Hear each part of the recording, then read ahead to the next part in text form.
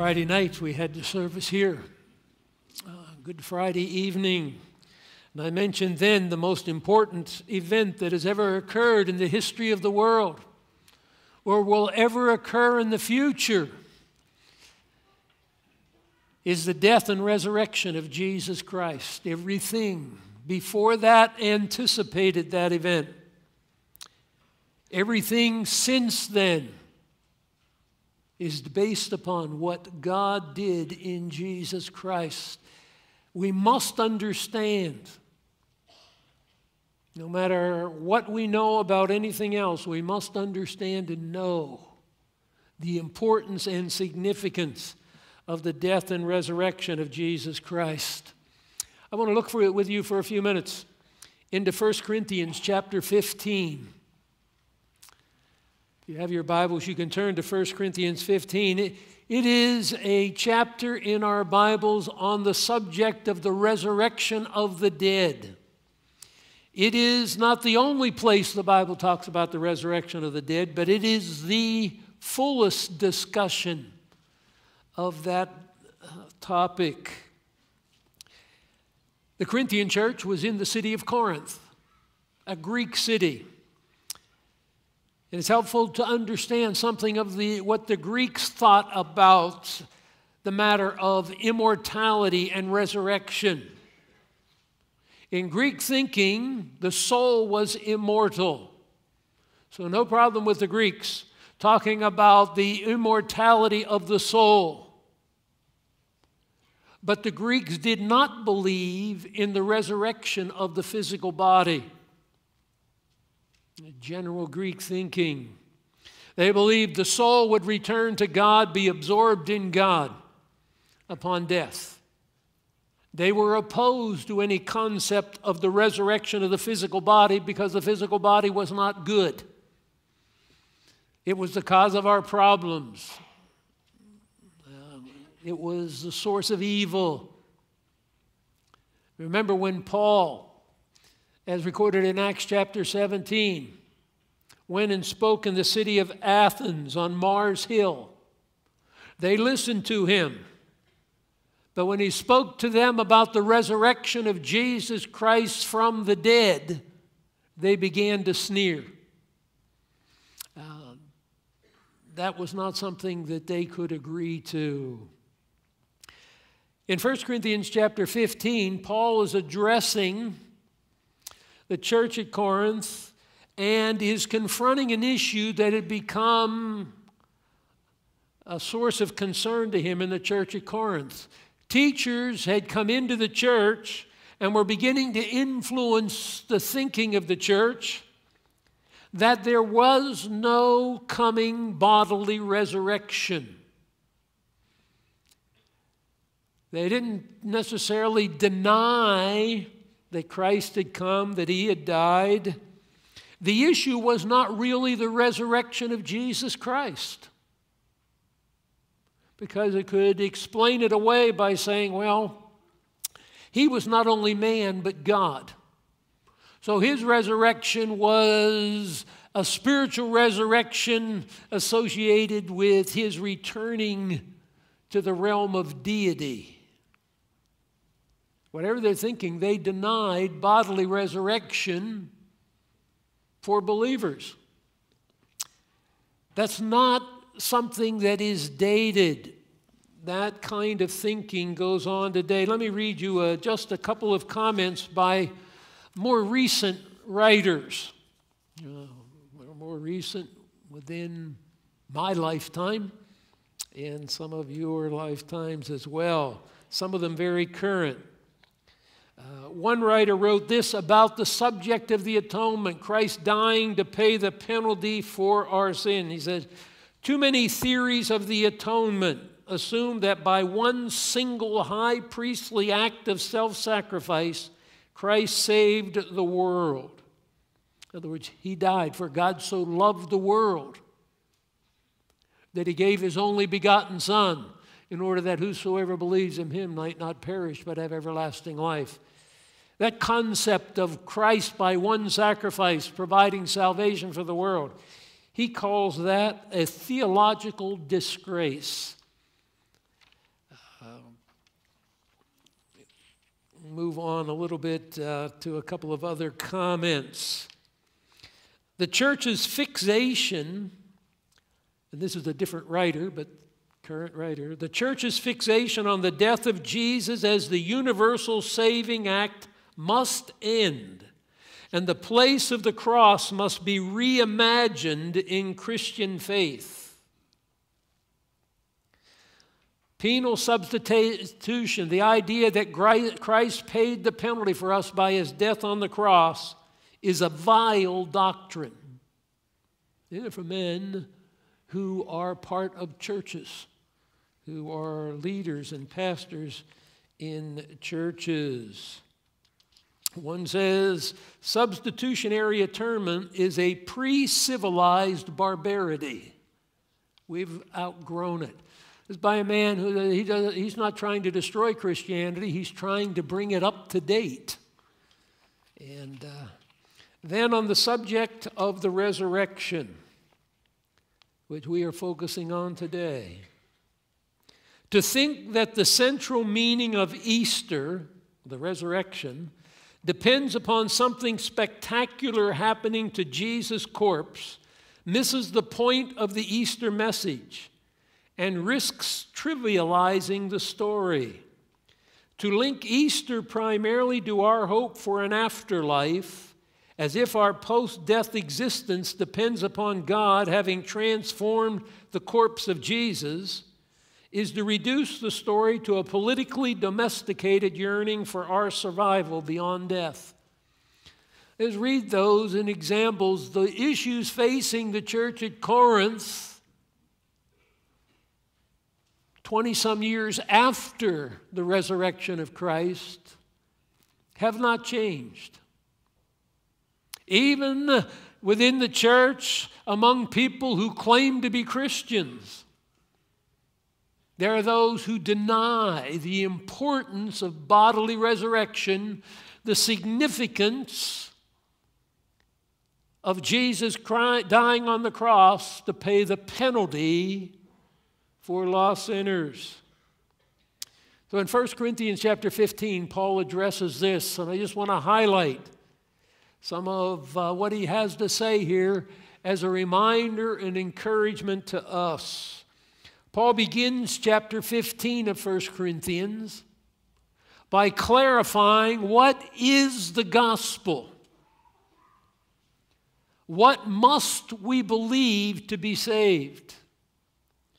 He starts out in verse 1 Now I make known to you, brethren, the gospel which I preached to you.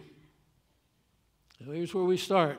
When I talk about the gospel, this is what I preached to you when I came to Corinth. Secondly, it's the gospel which you received. They accepted it as God's plan of salvation.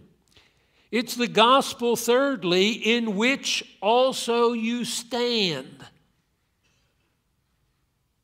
Is their present hope of their future salvation. They stand settled in that. It's the gospel by which you are saved. This is the saving message of God. Paul put it in Romans chapter 1, verse 16 the gospel is the power of God for salvation to everyone who believes. So, these four things about the gospel it's the gospel which I preached to you, which you received, in which you stand. It's the gospel by which you are saved. if you hold fast this word, unless you believed in vain. Maybe that's not what you believed.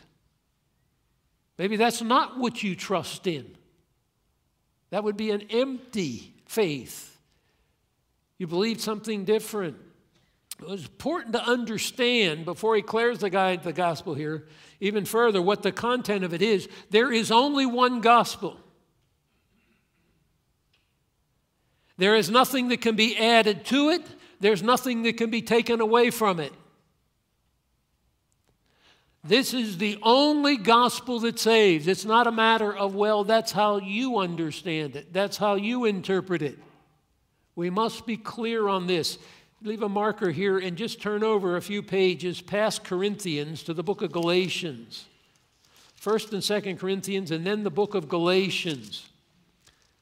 Paul wrote to these believers in churches in the realm of Galatia where he had preached the gospel and established churches. And he says in verse 4 of Galatians 1 that Jesus Christ gave himself for our sins that he might rescue us from this present evil age. It goes on to talk about the concern he has that some in these churches are moving away from the gospel that he preached to a gospel that's not the same. It's not related to what he preached. What the Galatians were doing was adding other things. This truth about Christ, we're going to add to it. You must also keep the Ten Commandments. The commandments of the laws given to Moses. You know what Paul says here? Verse 8 Even if we or an angel from heaven should preach to you a gospel contrary to what we have preached to you, he is accursed. Even an angel from heaven is not allowed to make any alterations or changes in this gospel. He repeats that in verse 9. He reminds them in verse 11 the gospel which was preached by me is not according to man. I received it neither from man, nor was I taught it but I received it through a revelation of Jesus Christ. This is the message from Christ to us regarding salvation. Any changes in it, doesn't matter if a person says, Well, an angel appeared to me and said this. It makes any changes or alterations in this gospel, he'll be anathema, cursed to hell. Come back to 1 Corinthians chapter 15. Paul reminds them it was the gospel that these Corinthians had heard Paul preach. They had received it. They had planted themselves as those who believed in it. It was the gospel that saved them. Verse 3 For I delivered to you as of first importance what I also received. This is not something I thought up. I received it. Remember what we read in Galatians 1? I received it in a revelation from Christ, directly from uh, Christ Himself. This is the content of the gospel. There's four points that summarize the gospel. This is what you must believe to be saved. You cannot believe anything less. This is what the problem at Corinth is. They want to take one of the points out. You can't believe anything more. That's the problem the Galatians had. They wanted to add something to it. There are four things here. Each begin with the word that in your English Bible, if you have the same translation I do. Here's what I received. First, that Christ died for our sins. Secondly, verse 4, that he was buried. Thirdly, in verse 4, that he was raised on the third day. And fourthly, verse 5, that he appeared to Cephas and so on. Those are the four points that summarize the gospel. If you believe anything less than that, you cannot be saved. If you add anything to that, you cannot be saved. We look through it. It's not a matter of your interpretation versus my interpretation versus someone else's interpretation. This is what God said.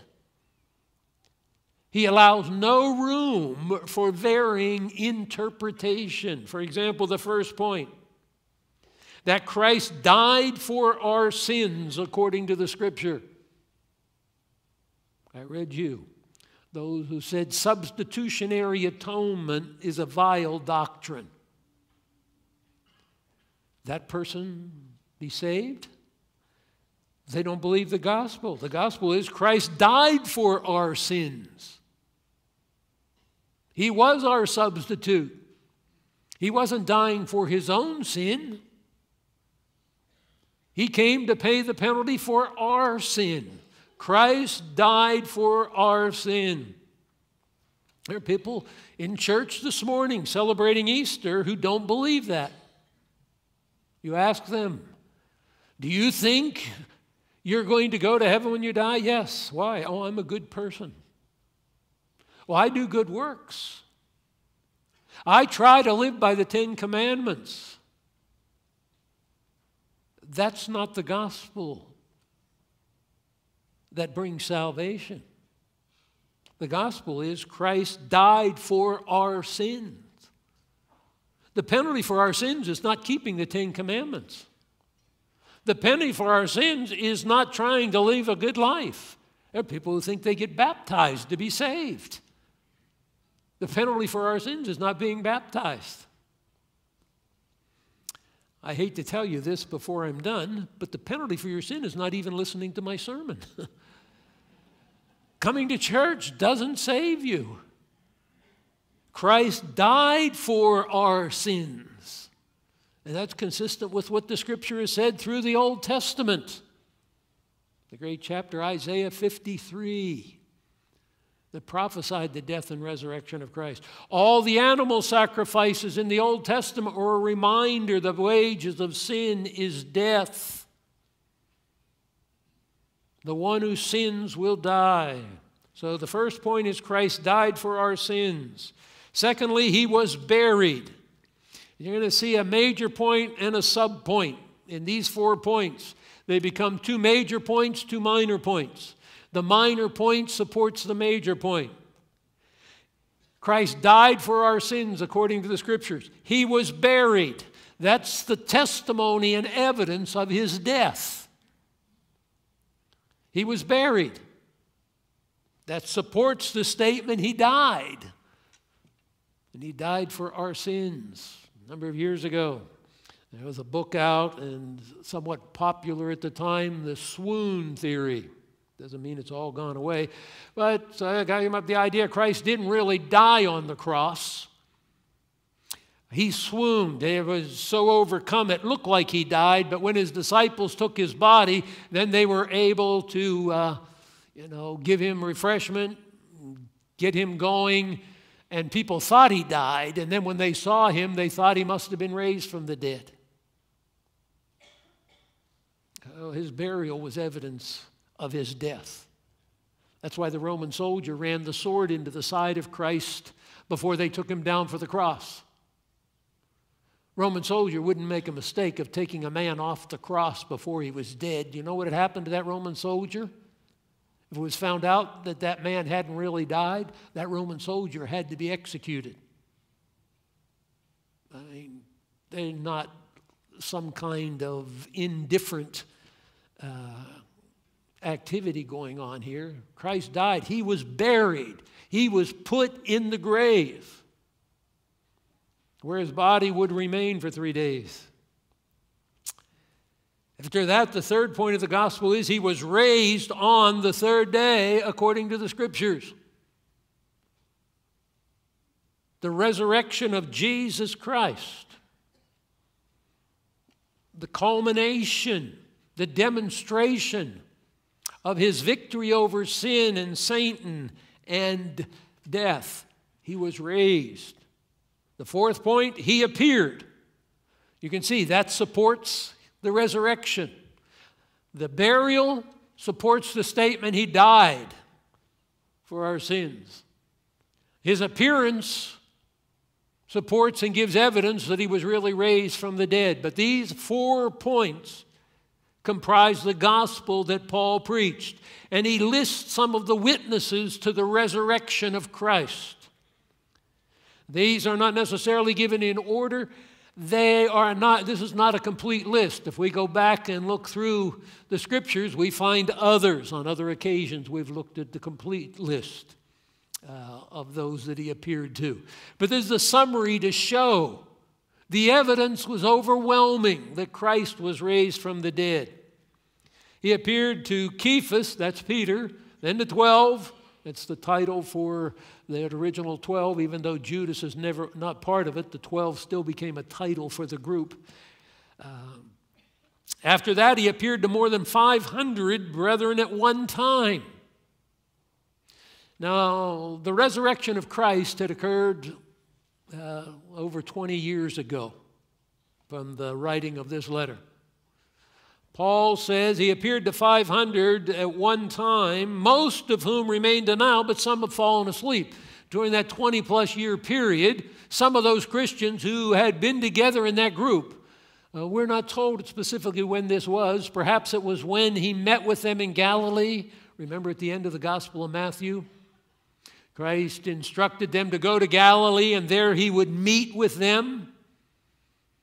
And it may be the word was spread then, and that's where the 500 met. Uh, we're not specifically told, but we're told here of that event. Then he appeared to James, then he appeared to all the apostles. Paul says, Last of all, he appeared to me. I'm not telling you this just because I've heard eyewitness accounts. I'm telling you because I am one of the eyewitnesses.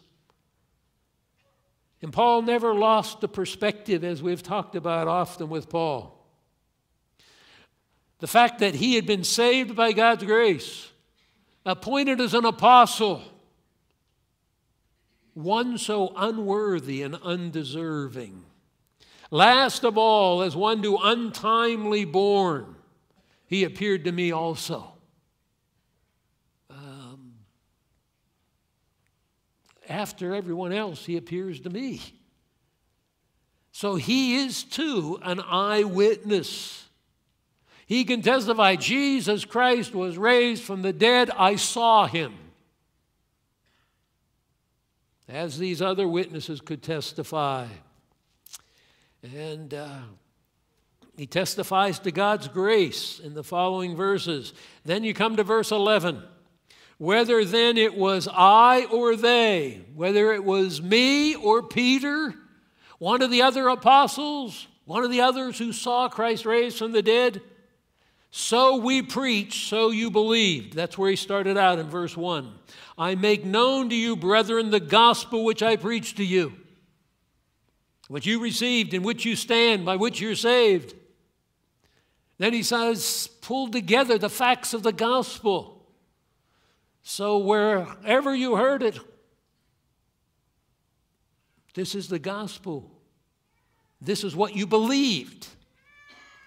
Now, if Christ is preached that he has been raised from the dead, how do some among you say there is no resurrection of the dead?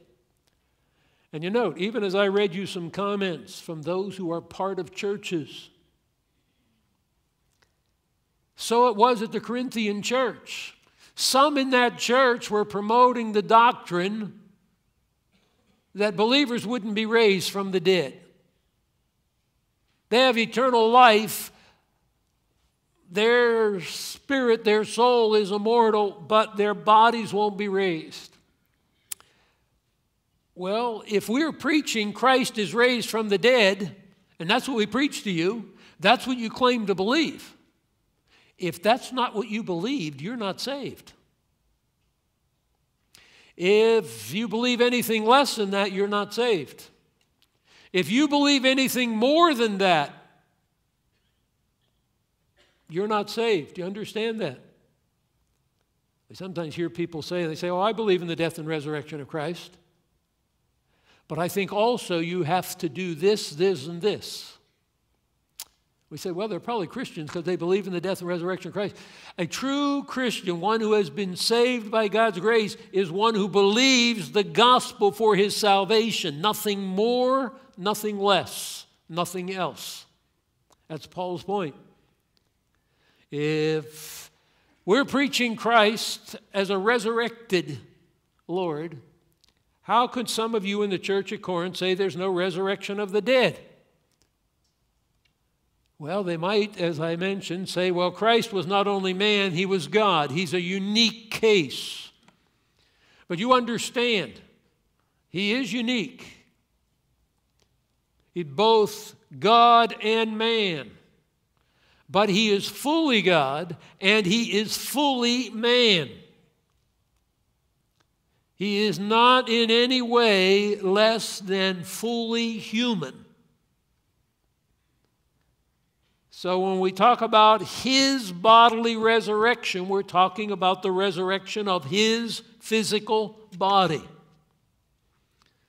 So, Paul's going to make the point here Christians get confused. The Corinthians were confused because they didn't stay focused on what the Scripture said. They begin to, well, that makes sense. That seems logical. That seems reasonable.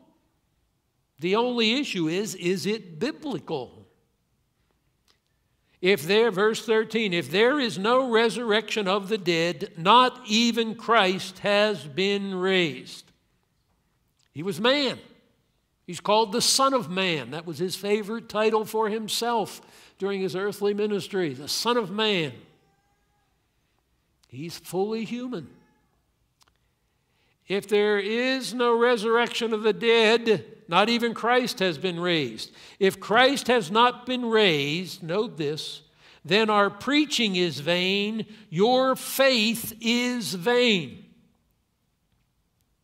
Verse 16 If the dead are not raised, not even Christ has been raised. If Christ has not been raised, your faith is worthless. You're still in your sins. We have some kind of idea, and it pervades the religious realm. And Christianity, broadly speaking, people say, well, if you have faith, that's what matters. People will say to you, I have my faith. What does that mean? We have faith based organizations. What is a faith based organization? Well, all people who have similar things. We believe certain religious principles. That does not save a person. It's all about the. These teaching at Corinth, these false teachers, had faith there was no bodily resurrection. They had their faith. They weren't denying that Jesus died on the cross. They were denying that believers would be bodily raised from the dead. They had their faith. Jesus said, if you don't believe in the bodily resurrection of Christ, and the subsequent meaning that means that believers will be bodily raised, you have a worthless faith. It's vain, it's empty, it can do nothing for you. This idea, why have my faith? You shouldn't judge me for my faith. We don't all have to believe exactly the same way. We have to all believe exactly the way God says we have to believe to be saved. That's it. You don't have to believe like I believe. I don't have to believe like you believe. But if either of us are going to be saved, we'll both have to believe what God has said, not what we think, or we think should have been said, or we have reasoned out. That's Paul's whole argument here. Verse 15, he makes it clear. We are Moreover, we are even found to be false witnesses of God if we're claiming bodily resurrection. We testify against God that He raised Christ, whom He did not raise, if in fact the dead are not raised. You know what? Well, this. If you preach contrary to what God has really done, you are opposing God. So he says, if I'm preaching to you that Christ has been raised from the dead, and that's not true, I've taken my stand against God. Oh, well, I think he could be sincere in doing that. That had nothing to do with sincerity. The idea, where we get this idea that if you're sincere, if you really believe it, that's what counts. Doesn't count a bit with God. And Paul doesn't try to hide behind that. If I'm telling you what is not true from God, then I am opposing God. I'm declaring something that God says is not true. That sets me against God. Uh, Verse 16 If the dead are not raised, not even Christ has been raised. If Christ has not, has not been raised, your faith is worthless. You are still in your sins. Those four points of the gospel that he laid out in verses 3, 4, and 5. They all have to be true, or none of it's true. That has to be the complete package or it's not worth anything. Um, the Spirit of God put this here because it's an ongoing tactic of the devil to spread partial truths. Like a man will believe part of this. He says, I'm not denying Christianity the background for what one of these wrote. I am updating Christianity to bring it into the civilized world and so the church can be relevant. Who has declared God irrelevant? This is what he says is his power for salvation, the gospel. These are the facts of the gospel. Well, my church believes you also have to be baptized. Your church is teaching a lie. My church teaches that you have to partake of communion. Well, to be saved. Well, your church is teaching a lie. Well, I heard somebody say if you don't go to Indian Hills, you're not saved. Well, there's another lie. I mean, you know, we just stay on focus. That's what Paul says. This is not my message, it's God's message through me.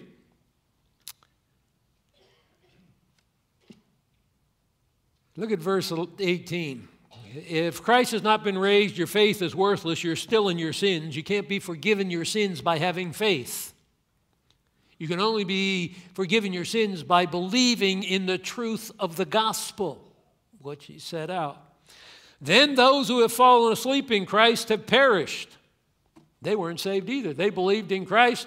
They believed uh, that they would be saved, they would believe that their bodies would be raised, and they would spend eternity in the glory of His presence, they perished.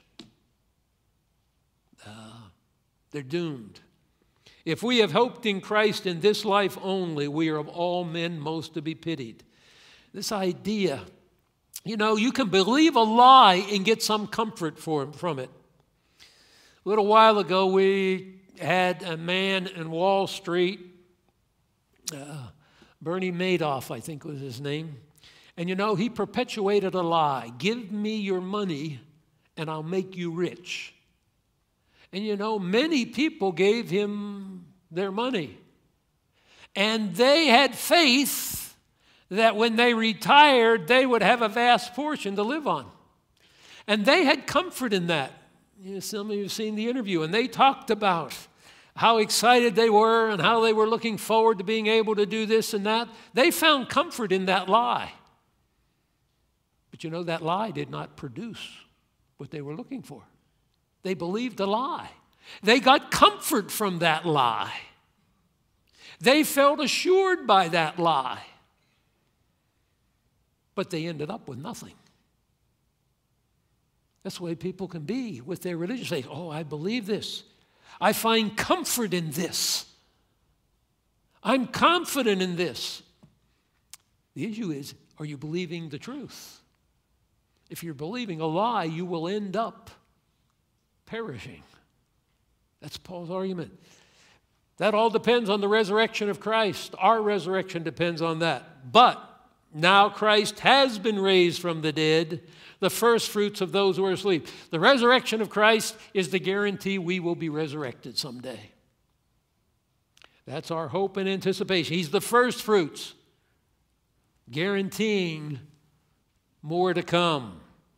And it's by a comparison with Adam, who sinned in the garden and brought sin. Christ, by his death on the cross, brought life, and he will ultimately bring victory over sin and death. Uh, come down to verse 33 and 34. The nursery workers, the first hour, told me they were going to turn the kids loose if I went overtime. One of them even went so far as to threaten to bring the dirty diapers in. oh, the heart is deceitful and desperately wicked. Now, what he says in verse 33 Do not be deceived. Bad company corrupts good morals. We sometimes pull this verse out and it has a broad application, but note the context he's talking about. Become sober minded as you ought. Stop sinning. Some have no knowledge of God. I speak this to your shame. He's talking about the situation in the church at Corinth. He doesn't change subject. You allow yourself to be associated with these false teachers and the false teaching, it will corrupt you. And I say this is a sad testimony to you. There are some there in your congregation who don't know God.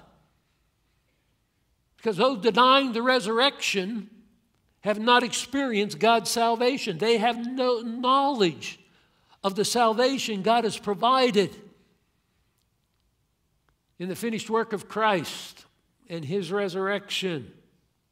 Uh, and the Corinthians are tolerating it. Later in his second letter to them, he'll say, If somebody comes and preaches a different gospel, you bear with that beautifully. You know, we feel the pressure. So, Christian, we want to be tolerant. We want to be broad enough. You don't have to believe everything like we believe. And, uh, you know, this is serious business. Person who can, person's welcome to attend here who doesn't believe. He's not welcome to teach that, promote that. That's what they were doing at Corinth. Bad company corrupts good morals. Stop sinning. Some have no knowledge of God.